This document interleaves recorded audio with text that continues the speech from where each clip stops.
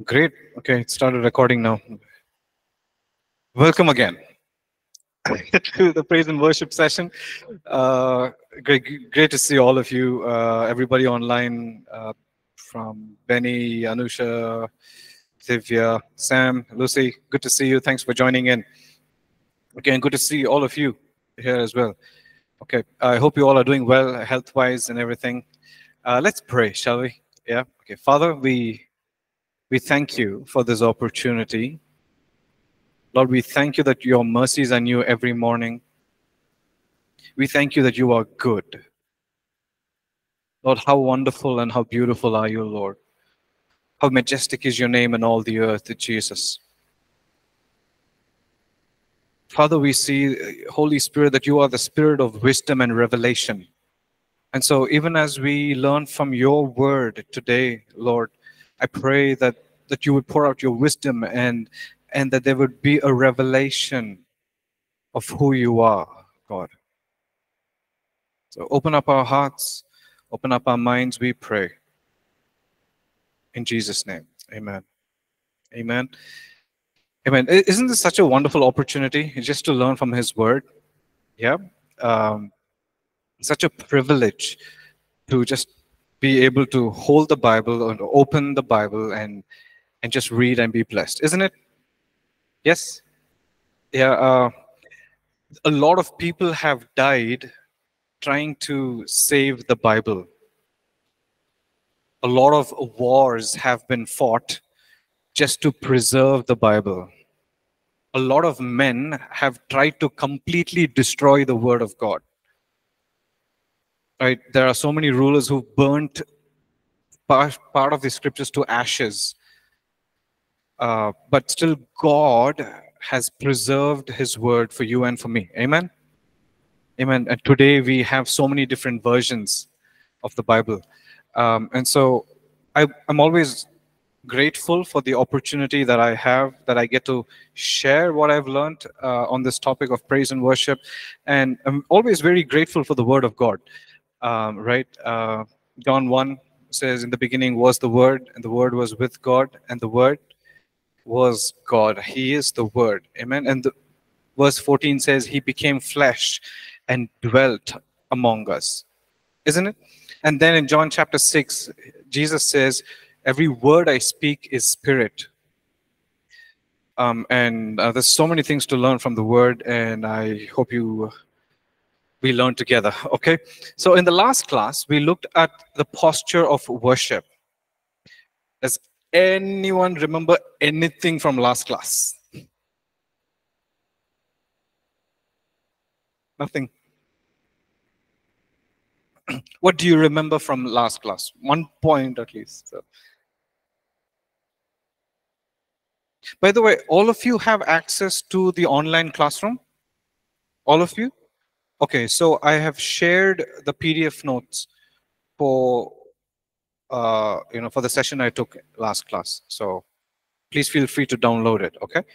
Um, so yeah, what did we learn very quickly? Yeah. Okay.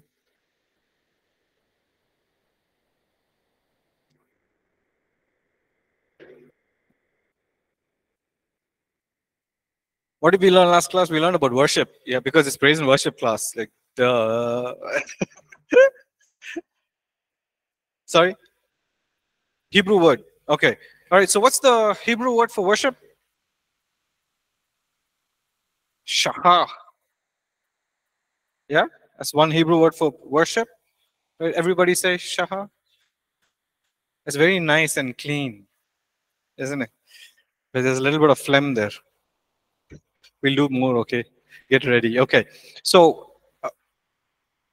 we learned about a good posture of worship, isn't it? A good posture of worship is surrender, is laying down everything. Yes? Um, so if there is a good posture, that means there is also, everybody say bad posture. Okay, and so what is that bad posture?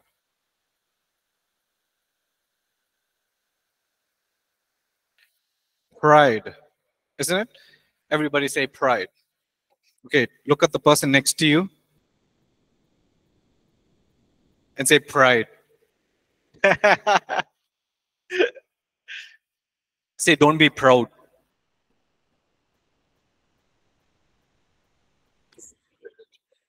Don't just smile at him. Uh, just say, don't be proud. Just give him a nudge. Don't be proud. Okay, just, uh, okay, guys, I'm just doing some things here in class, okay? But I'm very sad that I can't do all of this with you online, okay?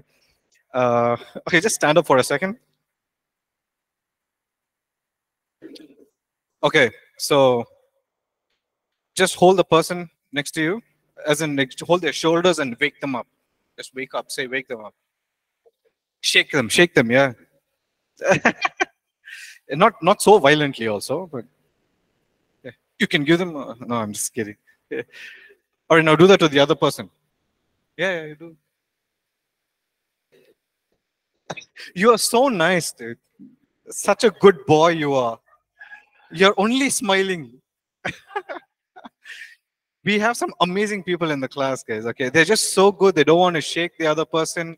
They don't want to be violent. They want to be silent. Okay, just sit down.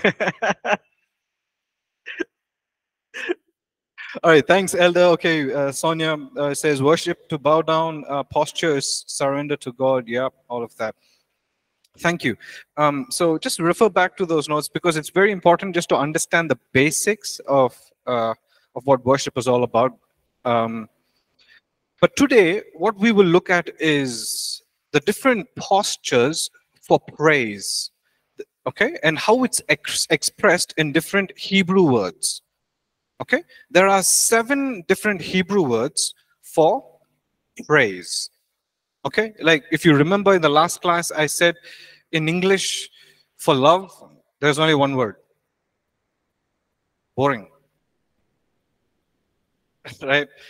Um, but in Hebrew, there are different expressions of praise, and hence we have seven different Hebrew words for praise. Are you excited to learn a little bit? Yeah, can we learn a little bit? Go a little deeper? Okay, cool. The first uh, Hebrew word for praise is yada. Okay, everybody say yada. Okay, good. All right, it's in other words, um, I've titled it as the hands of praise. So the meaning of this word, yada, okay, and the spelling is all there. Now it comes from, now we know where we get the word Judah or the name Judah from, isn't it? We get the name Judah or Yuda. Is that right? In different languages, it comes from this root word of yada. It means so D-A-H, da or a means cast out. Okay, that y, the spelling of that is what? Y-A-D-A-H. So A-H, the last part of that word a means to cast out and Y-A-D, yad, means hand. That means to praise him with your hands cast out, with your hands stretched out. Okay, or the lifting up of our hands. That is what yada means. Okay, depending on the translation of the Bible or the version of the Bible, it's this word is used at least 120 times. Uh, okay, so it means to give thanks with loud praise, uh, to rever or worship with extended hands. Okay, and another root meaning of this was also, it was meant to throw something, to throw stone. How many of you have thrown a stone? Yeah, very good. Okay. Very proud. I threw a stone. right? So, in other words, it's saying the imagery here is let's throw our praises at God, like lavish Him with my praise. I'm going to praise Him with my hands stretched out. And that is a posture of praise, isn't it? Like in worship and singing and what, we lift up our hands, isn't it? We spread out our hands and we worship. We don't, and this is the meaning of it. It is biblical. It's not just based on your feeling. Okay, I feel like raising my hand, so I will lift my hands. I don't feel like raising my hand, so I will not praise Him by lifting up my hands. Right? We are two emotional beings, isn't it? Like, it's everything has to be based on our feeling. Huh? I don't feel like going to college today. right? I will come to college, but I don't feel like paying attention in this class. So I will physically be here, but mentally be in Switzerland. So again, you know, when we learn about praise and worship, the more we learn about praise and worship, the more you learn that it is very less about the way you feel. Okay? So it doesn't matter how you feel. You still continue to praise. We are commanded to praise Him. Okay? Uh, let's uh, read a few scriptures in our Bible. Uh, we're going to be very fast. Any fast Bible turners here? Okay, so keep the mic ready. Uh, have your mic ready? Okay, so let's read Psalm 28, verse 2. Psalm 28, verse 2. Your hands have got to be really fast, okay? So we're going to go through a lot of scriptures. Yes. Hear the voice of my supplications when I cry out to you, when I lift my hands toward your holy sanctuary. Okay. So Psalm 28, verse 2, it say, goes on to say, When I lift up my hands towards your sanctuary. Okay, the sanctuary, uh, everybody say sanctuary. Okay, that's a word used for the house of God or the temple of God. Okay, so the house of God or the sanctuary was on a high mountain. And you would have read uh, read some psalms that say, I was glad when they said to me, Come, let us go to the house of the Lord. Do you remember that? Or was it only in my Bible? Okay. Um, there are psalms that that is called as songs of ascent. Say songs of ascent. So that means ascent, ascending. That means going up. Okay. So there were songs that people would sing as they climbed the hill of the Lord. Okay, that's the mountain of the Lord. And so the psalmist is saying here, I will raise my hands towards the sanctuary. Okay, what is he doing? Yada. Okay, let's read another verse. Uh, Psalm 63, verse 4. Psalm 63, verse 4. Thus I will bless you while I live. I will lift up my hands in your name. Okay, do you mind reading that one more time, please? Thus I will bless you while I live. I will lift up my hands in your name. I will lift up my hands in your name. Okay. Um, if someone online can keep sharing these scriptures in the chat section, that'll be great for all of us as well. Okay. Thanks, Elder. I see that you've already done, but yeah.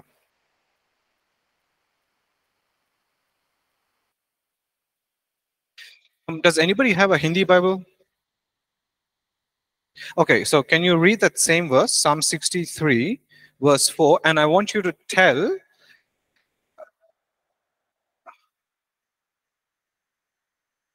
can read that again, please. Yeah, thank you. Yeah. Hello इसी प्रकार मैं जीवन भर तुझे धन्य कहता रहूँगा और तेरा नाम लेकर अपने हाथ उठाऊँगा। So does it say lift up the hands that's what it mean again yes no okay any other language we have Tamil Malayalam Telugu So see, the thing I want us to do is um, different languages would choose very interesting words, and I want to see, you know, what they what they say. So, any other language? Telugu. Okay. Uh, Anusha, I see your hands raised. Just one minute. We'll come to you. Yeah.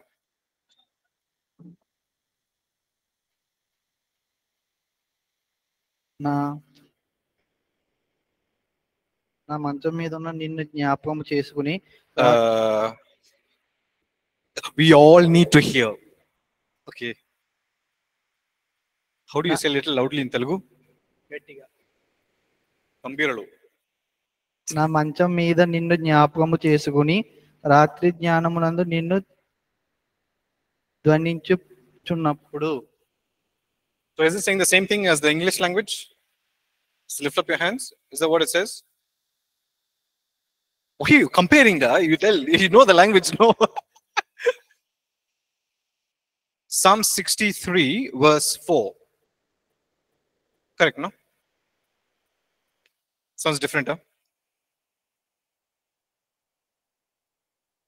Bible only, no? So.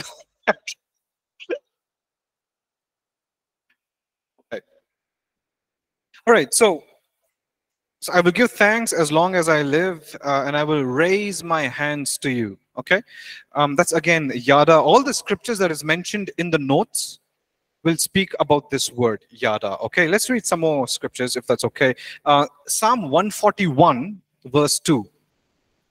I love this verse. Psalm 141, verse 2. Let my prayer be set before you as an incense, the lifting up of my hands as the evening sacrifice. Yes, thank you. So may the lifting up of my hands be as an evening sacrifice.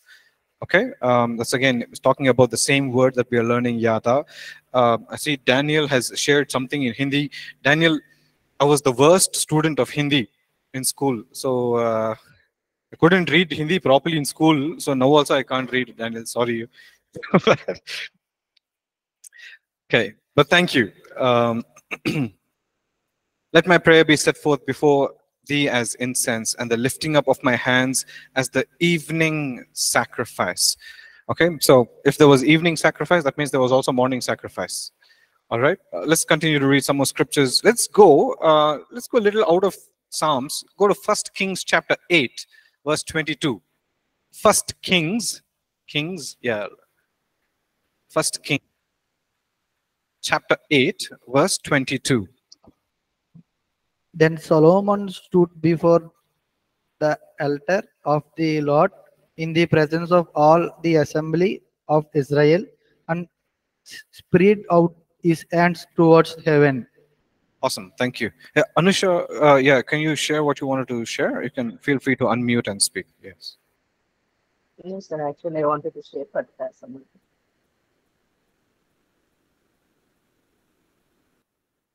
Sorry, the audio wasn't clear, but um, okay.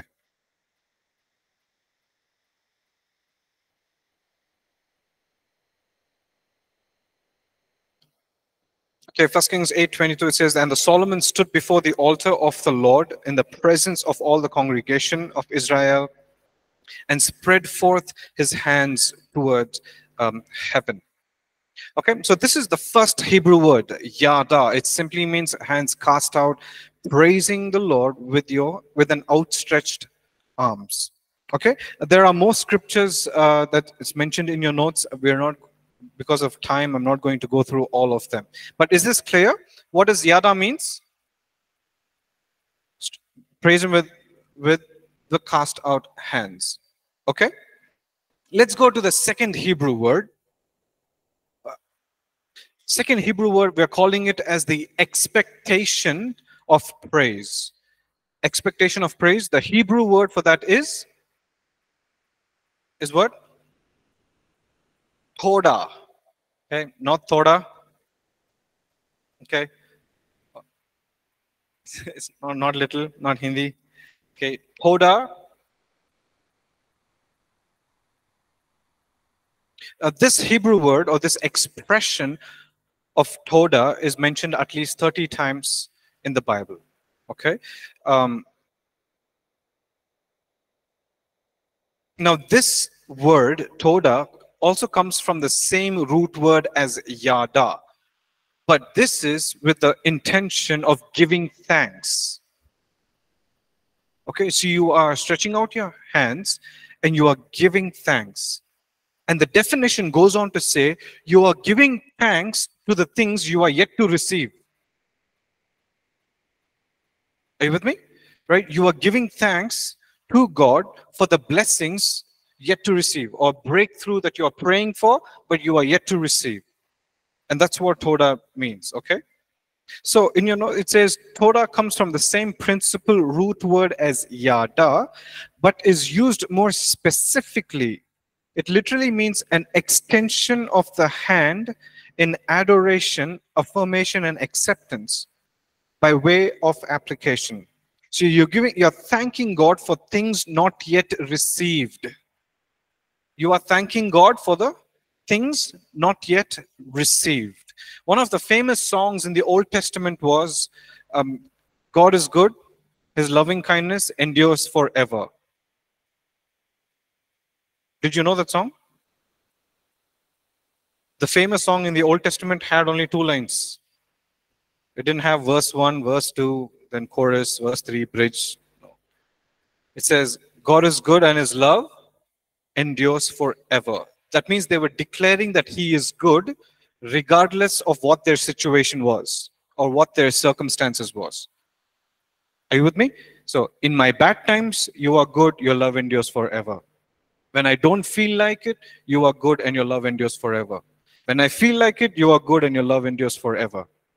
In my good times, you are still good. In my bad times, you are still good. Okay? So that's what Toda is. It's the same expression of lifting up of the hands, but with a more specific intention is I'm going to thank you for the things I have not yet received. I'm praying for this miracle. I still haven't received it, but I will give you thanks anyways. Are you with me? I'm praying for a financial breakthrough. I am I'm waiting on it, but while I wait on it, I'm going to give you thanks. Are you all with me? Yes. No. Okay, good. So that's the second Hebrew word for praise is toda. Okay, let's read a few scriptures. Psalm uh, 141 again, verse 2. Some of the verses are repeated. Uh, and some, let's read Psalm 88, verse 9. Uh, I see that Elder has already shared that. Psalm 88, verse 9, it says, Mine eye mourneth re by reason of affliction, Lord, I have called daily upon thee. I have stretched out my hands unto thee. There's a combination of prayer and praise, an expression of praise there.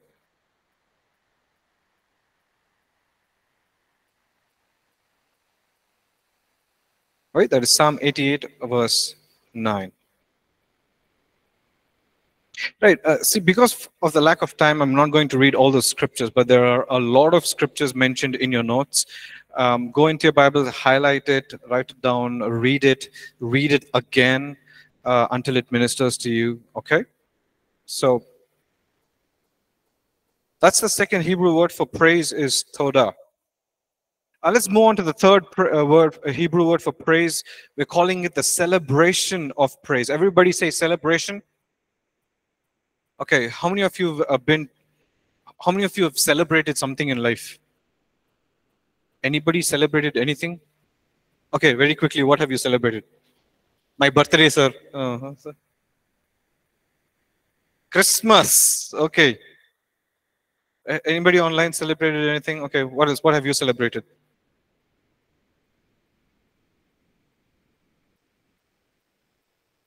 Birthday.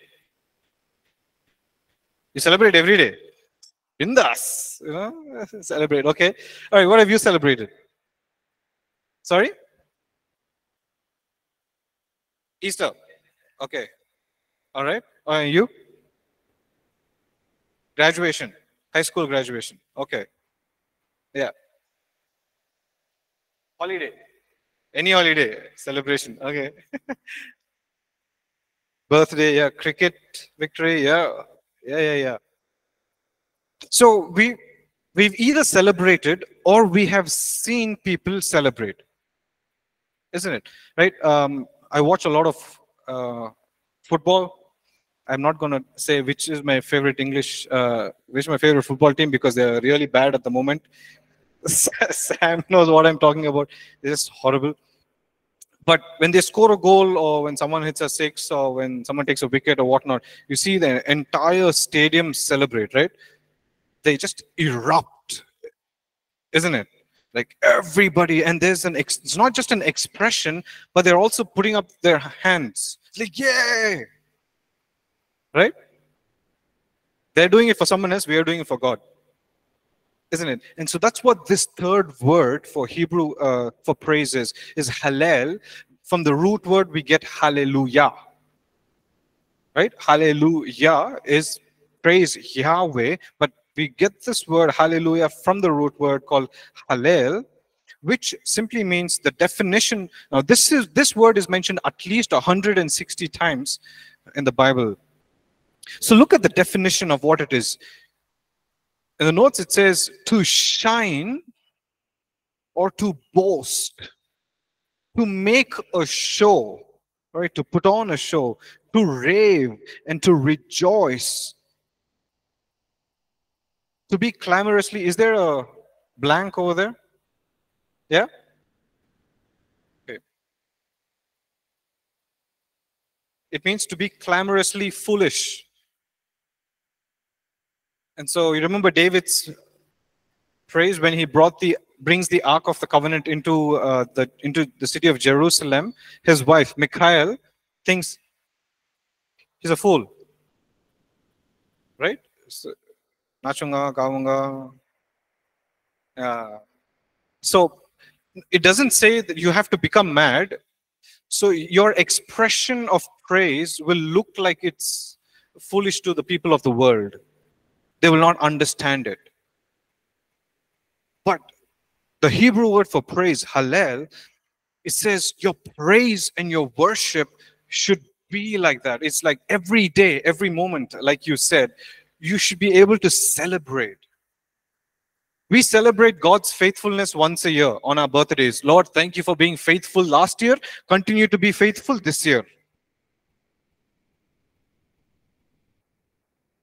But every day or every moment of our life should be a celebration of who He is and what He has done. Amen. The one of the word here for hallel is to boast. Boast means to show off. My daddy is the strongest. You remember that ad? Very old ad. You know, it's what is the kid doing? It's like is the kid is boasting or showing off that, that his or her father is the strongest kind of a thing, isn't it? And so you, know, when you're facing a challenging time, is you're showing off is like, okay, you know, do you remember the spy stories where uh, Moses sends 10 spies into the land of Canaan? Yes? There were 10 spies. Moses goes to the promised land and they come back. There are eight people who says is like, you know, we can't go. There are giants in that land. But there were two people who saw very differently. Who are they? Joshua and Caleb. Right? They were boasting. It's like, yes, there are giants. Yes, they are big. but my God is bigger.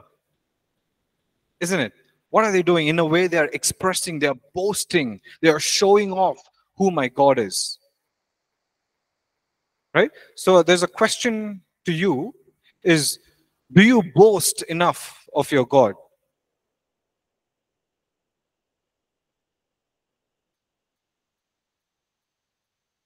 Um, let's read a couple of scriptures. We'll see, uh, you know, let's read Psalm 22, verse 23 and 26.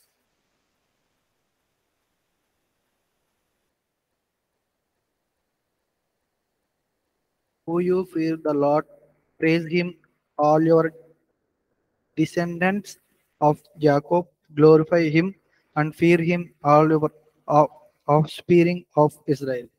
Yeah, thank you. So, verse 23 of Psalm 22, it says, You who fear the Lord, praise him. So, the word used there for praise is hallel.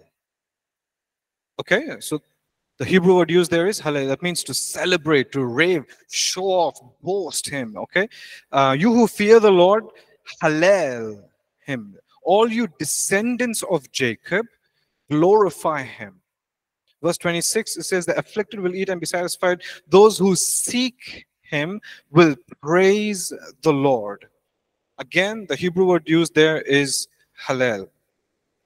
Okay, uh, let's read First Chronicles chapter 23, verse 30. First Chronicles, not Corinthians.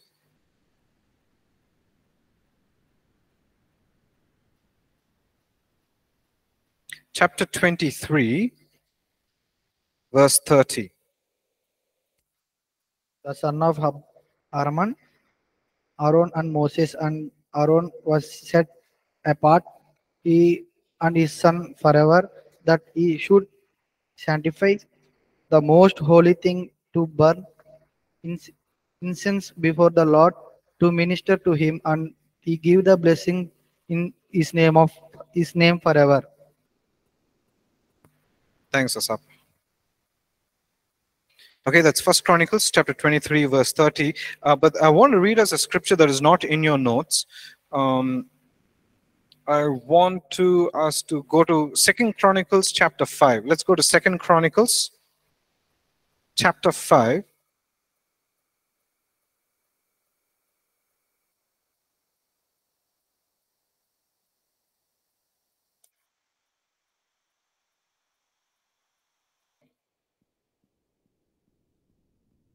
Okay, uh, and uh, wait, hold on a second.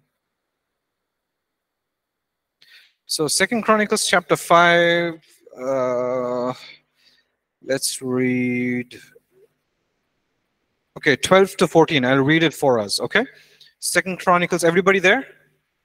Yeah, Second Chronicles chapter 5, verse 12 to 14. And this is what it says. And the Levites, who were the singers, all those of Asaph and Heman and Jeduthun, with their sons and their brethren, stood at the east end of the altar, clothed in white linen, having with them 120 priests sounding with trumpets. Okay, let's before going to verse 13 and verse 14, a couple of things. Let's notice there. The Levites, the you know the priests, and the sons of Asaph, Heman, and Jeduthun, all of their sons and their brethren stood at the east end of the altar. Okay, so one of the ways, uh, important things, and how you can study the Bible is if there is a specific detail, right? If there is a, a specific detail that is mentioned, you have to ask why. Okay, so for example, I'm, I'm not going to go into that, but it says they all stood at the east end of the altar. Why not north? Why not south? Why not west? I'm not going to give the answer. You figure that out. Okay, so it says they all stood at the east end of the altar, clothed in white linen. That means they didn't wear whatever they felt like. Okay, I'm going to church today. I will feel I will wear whatever I feel like. No, they did not think that. They were all clothed in white linen, having cymbals, all the instruments, and 120 priests. How many? How many? 120 priests with which instrument? 120 priests with trumpets. Okay, all right. Indeed, it came to pass where the trumpeters and singers were as one to make one sound to be heard in praising and thanking the Lord. When they lifted up their voice with the trumpets and cymbals and instruments of music and praised the Lord, saying, For he is good, for his mercy endures forever. What they are doing there is Hallel, the Hebrew word used. Now, see the result of what they did. Because they did that, the house of the Lord was filled with a cloud, so that the priest could not continue ministering because of the cloud, for the glory of the Lord filled the house of God. Okay. All right, again, there's so many things that's happening. Um, 120 people. Now, how many of you have seen an orchestra? Not the ones we see in our cities in the roadside and all, okay? But you know, uh, like with all the violins, you know, and the drums and flute, uh, you know, so the biggest orchestra is, will have at least 140 people. So there's the string instruments. The string section will have all the violin, viola, cello. The woodwinds will be to the right, you know, with all the flute and clarinet, oboe, all these different instruments. There's the percussion section at the back with all the drums and the cymbals uh, and the vibraphone and all of that. And then there's the brass section at the back The brass section will have all the trumpets and uh, the French horn, like the, the one that is curved. And trombone is, you know, you've seen people play like this. Yeah, that's a trombone. Now, the brass section of an orchestra is the loudest. So a brass section will have maximum of four to five trumpet people. Just four or five. And they can easily sound louder than all the other 110 people. So you've seen this guy conduct conductor, you know, who does all this? You know, he's called as the conductor, right? He will always tell them to be soft. Just five people playing the trumpet. Five. Here, how many of them are playing the trumpet? 120 people in praise. The whole city of Bangalore would have heard them. Right? It would have been loud. And it says that all the singers also came. The recurring word there, okay, the one word that's repeated is one accord, one voice. That means they were all in unity right in one voice they lifted up and they sang in one accord they play they praised him together when they did that the cloud and the presence of god came into the temple that even the priests could not stand. What they were doing is hallel right? Okay. Oh wow. Time is going fast. Okay. But are you all following what i'm saying? Are you all with me? Yes? Okay. Everyone? Okay, cool. Awesome. The fourth Hebrew word for praised, I love this. This is a this is my second favorite Hebrew word. Okay. Are you ready? It's Shabach. Yeah. Phlegm. Okay. okay, say Shabach. Oh no, I'm very nice and I'm very decent. I'm going to say it as Shabbat because I'm cute, you know. Guys, it's not Shabak. It's Shabak. Yeah. Okay. All right. What about you guys online? All okay, right? Yeah, in your rooms, behind your screens with the camera off, you can say it to yourself. okay. Want to say it again? Everybody loudly. I'm not hearing the phlegm, guys.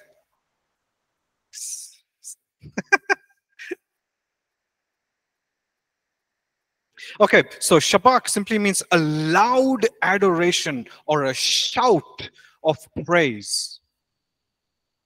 Right? To commend, to adore, to triumph. Shabach means to address in a loud tone. That's what that blank is there for, right? To address in a loud tone. That's what Shabach is, to praise him loudly. So how many times in the Bible says shout for joy? Right? Psalm 95, it says, shout for joy, all the earth. Shouting doesn't have any specific word, isn't it? You can shout whatever you want. Like, yeah, yeah, bah, you know. It, it- it's not saying have a specific word. It's just say shout. Any stories that comes to your mind? Wall of Jericho, right? They went seven days. On the seventh day, they went seven times, and they did not say, "What's up?"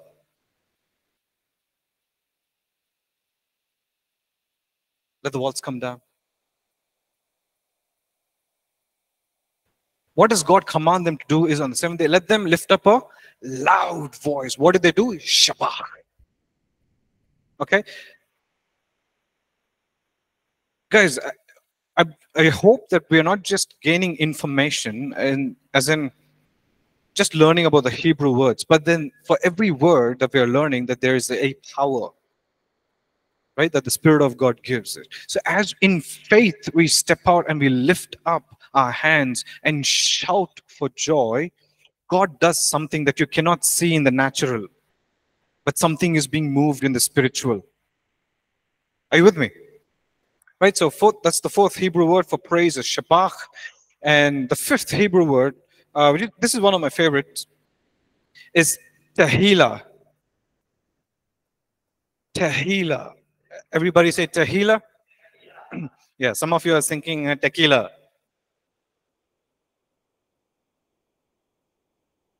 That's the wrong spirit. okay. Tehillah is one of my favorite words simply because it says, in simple words, it's saying, let your heart be a library of praise. So it simply says, erupt in a spontaneous song. What is it saying? It's like break out in spontaneous song. Okay, uh, let's go to an, uh, a Psalm, Psalm 18 very quickly. Fast, fast, fast.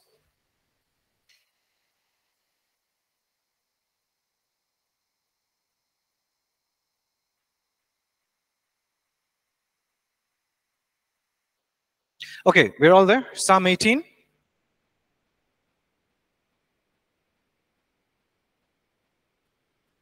Now, if I asked you to start reading Psalm 18, everybody would start reading from verse 1. I have done this exercise many times. I'm not going to do this now because I don't have time.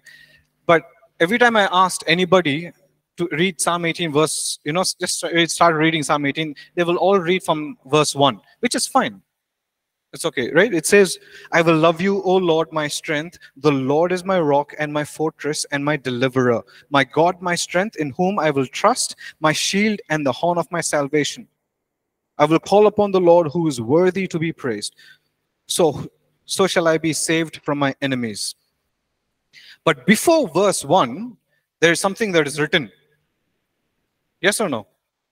It- It says, David wrote this psalm or sang this psalm spontaneously when God saved him from his enemies who were trying to kill him. Has anybody tried anybody here, you know, has anybody tried to kill you here? No one, no? It's a good thing, no? Anyone online? so we don't really fully understand what David is going through. So David has just been saved, right, from being killed. Now, we have to remember so many things about David. David was a shepherd, right? He was a king. But one of the things we tend to forget is David was a warrior. David was a warrior. He killed Goliath. When you looked at this Goliath, he says like, "Who is this uncircumcised guy? You know, who's uh, you know uh, profaning against the name of the God of Israel?" Something burned in him. He was a warrior. When a lion or a bear came, took his lamb and went, he went after the lion. Right? The one verse says he held the lion by its beard. How close do you have to be to catch a lion with by its beard? Yeah, face to face. So now that we understand that David has just been saved, you know, uh, by from being killed, and that he is a warrior, he is not going to, you know, sing, "I love you, Lord, my strength. The Lord is my rock." Tehillah, he erupted in this spontaneous song. In the forest where there was nobody, he would have shouted. He said, I love you, Lord, my rock, my strength, my shield. Are you with me? Right? So when your heart is a it becomes a book of praise, your heart erupting in a song will not become difficult. Are you with me? Are you with me? Right? So, see, the answer to this question, you know, can you praise Him does not mean can you sing. Okay? Worship or praise does not mean can you sing. The question is, does your heart have a song? That's what it is. Are you with me? All right, so that's the the fifth Hebrew word for praise is tehillah. And the sixth Hebrew word for praise is barak. Okay? It simply again means to kneel or bow down. Now you might ask, what is the difference between the Hebrew word for shachah? Shachah is again is to fall face down on the ground. What is the difference between that and barak? So the praise, the Hebrew word for praise here, barak, is it's a more um, military term. That means you're kneeling down. You would have seen this in movies, you know, is you kneel down before the king, but your eyes or your head will be lifted up and your eyes will be on the king. Have you seen that? So you kneel down, but your eyes are on the king. So that's another posture of praise here is barak. It's like I bow down in your presence and I acknowledge that you are my king. And finally, after the six words of Hebrew was for praise, the last word for Hebrew is zamar. Now he talks about music. Finally, at the end, towards the very end, the Hebrew word zamar is to play the instrument, to praise him with a stringed instrument, with a lyre. Right? Psalm 144, verse 9, it says, I will sing a new song to you, O God. On the harp of 10 strings, I will sing praises. Uh, when you read through the book of First Chronicles uh, and also the Second Chronicles, you see David invented musical instruments. Why is David such a big deal in the uh, in the topic of worship? Is because he was not an ordinary guy. So he built, he made instruments? When nobody knew what a guitar was, he made a guitar. He built a guitar and said, "Guitar." Right? Uh, in music college, when I was studying music history, uh, we had to learn who made the piano or who invented the piano. There's this guy in the 17th century called Bartolomeo Cristofori. He is the guy who built the piano. And so building one instrument itself is a big deal. Bible says David made instruments and we don't even know how many instruments. One day he woke up, he must said, Let, let's make a drums. you know, let me build a new instrument. Let me figure out a new way of praising my God. Are you with me? Right, so let's very quickly go through all the seven words, uh, Hebrew words for praise. First one is what? Come on. We're done. First Hebrew word for praise. Yada. Second one. Fast, fast. Toda. Okay. Third one. Halal, halal. Okay. Fourth one. Hey. Hey. Yeah. okay. Fifth one. Tehillah. Sixth. Barak. And finally, Zamar. All right? So those are the seven Hebrew words for praise. Thanks for logging in, joining in. God bless you. I'll see you on Thursday. God bless you.